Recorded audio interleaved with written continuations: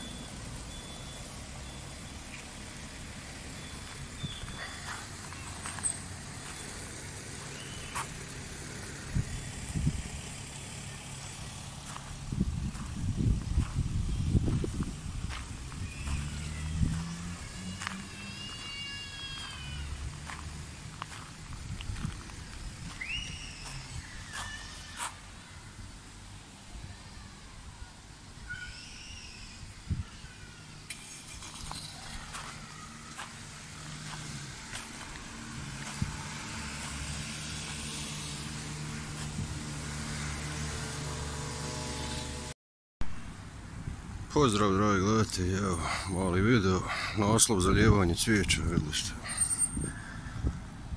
Zanimljivo, prelijepo cvijeće, gradska površina, komunalac, radi svoj posao. Dobro, eto, mali video, pa se sviđa, lajkajte, komentirajte i pretplatite se na kanal, hvala, pozdrav.